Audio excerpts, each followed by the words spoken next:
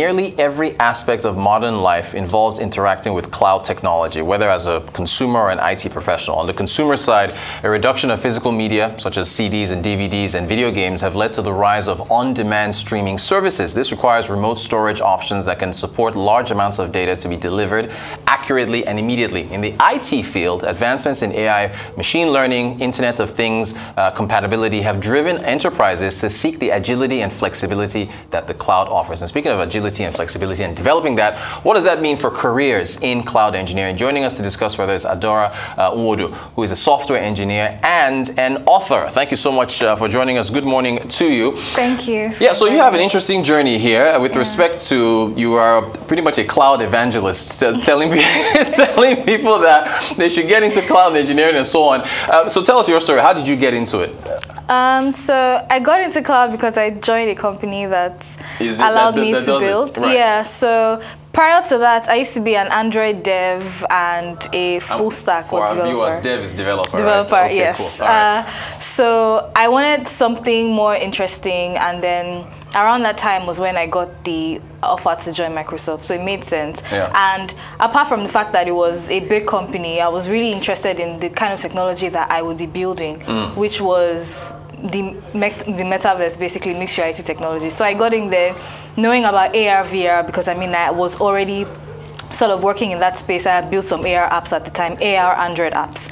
And then I got in and I was working on devices.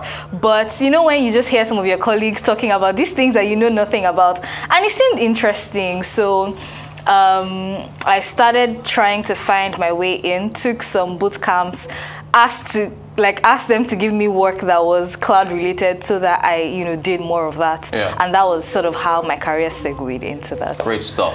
So I mean, okay, so obviously Microsoft connection. So you talk a lot about Azure, right? Yeah. But so, but whether it's Azure, uh, Google Cloud, um, Amazon Web Services, the skills are the skills, right? So when you talk about career opportunities here, regardless of the platform, that's the way in. Is that, is that, is that right? Yeah, and even beyond these three, they're still like top ones when you think about IBM, or Oracle, and DigitalOcean and other ones. Yeah. So the main thing I tell people is like when people even ask me, oh, so for example, I've read your book and I'm interested in getting into cloud, how do I get Tell into us. that? Go ahead, yeah. That, um, that the first thing would be, I would say, to learn the fundamentals of computing and how computers work.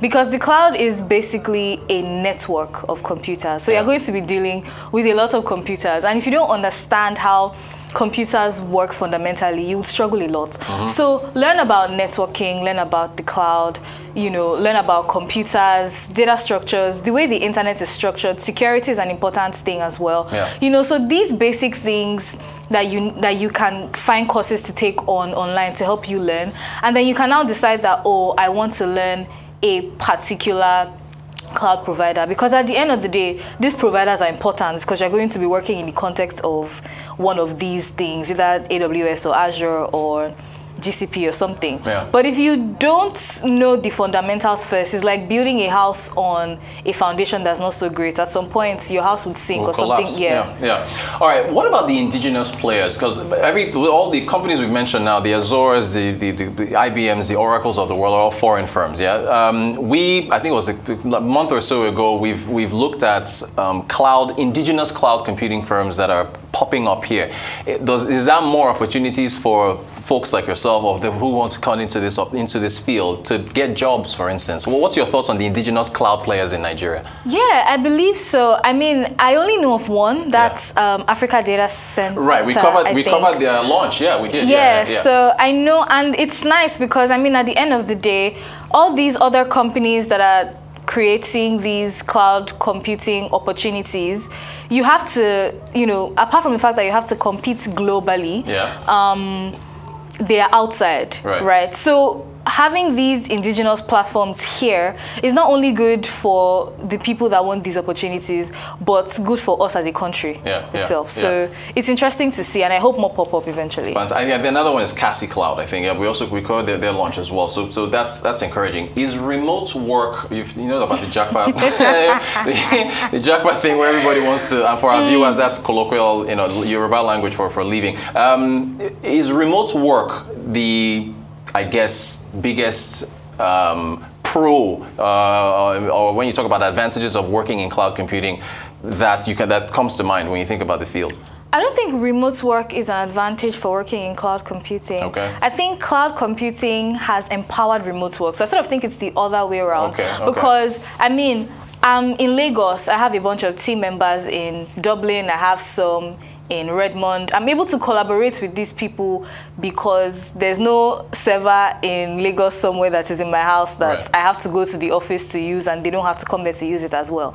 So being able to have that network of computers, like I called it, and for everyone to be able to connect to these computers via the internet and do whatever work we have to do is what is empowering remote work. So I think it's the other way around. Mm. However, I know that there are many remote opportunities for people doing cloud engineering work as well as even beyond remote like there's some people that get really amazing offers to be devops engineers or site reliability engineers hmm. or security engineers or cloud software engineers and that helps them relocate so it goes both ways in my Great opinion stuff. what's the starter kit? Oh, again, you've, you've written a book. I think you're writing a second one, right? On how to get into this. So, what's the starter kit for someone who doesn't have a background? Because the, the word engineering might be a bit intimidating for some people. So, what, what's for for folks who read your book and I want to get into it? What's what's how do they get in there? i mean first thing is to have a laptop and internet right yeah, you need a laptop. Okay. yes. All right. Okay. Um, but I mean, beyond that, like I said, it's important to take these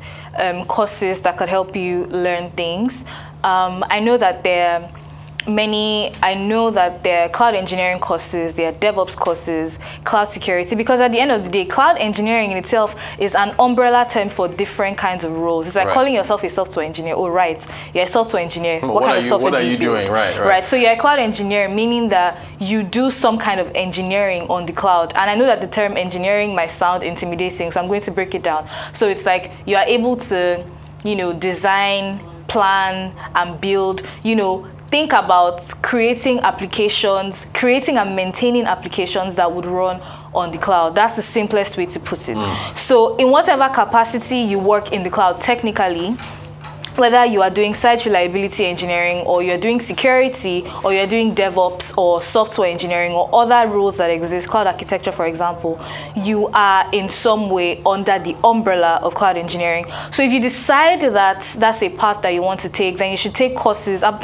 apart from learning the fundamentals, which I already talked about, and having a laptop and internet connection, Right. you should take courses that you know would allow you get into this and i tell people it's really hard to find a cloud job especially now that it's even hard to find a job in the first place because Right. of what's happening Yeah. so telling a beginner to get into the cloud is going to be very difficult so i tell people if you are really interested in this thing get into the company that you'd like to work for through a role that is pretty close. For example, if you want to be um, if you're trying to get into cloud security, I think you can start with cybersecurity and then you can find your way in. If you're trying to get into all the DevOps or cloud architecture or software engineering on the cloud part of it, you can get into backend engineering.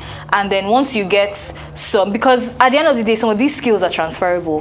Once you're a backend engineer, you've written code for a bit, you've had issues on the cloud that you've had to deal with, so Yeah. you've you know found your way in different things, then you can now decide that it will be easy to transition to a cloud role within a company than try to get it from outside. Great stuff. Look, we appreciate you coming on. We have had more uh, questions to ask you about government policy and how that fits in, but we run out of time. I have to have you back to talk more about this. Maybe when your second book comes out. Definitely. Uh, Adora uh, Nwodo, software engineer, author. Thank you so much for talking to us about cloud engineering. Really appreciate it. Thank you.